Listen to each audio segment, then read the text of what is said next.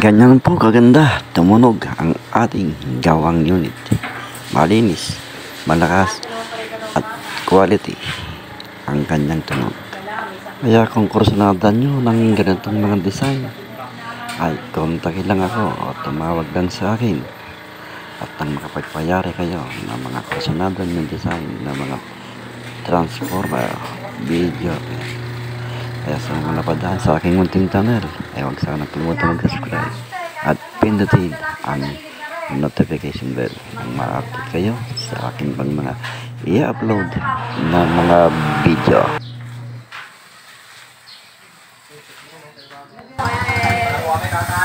dito.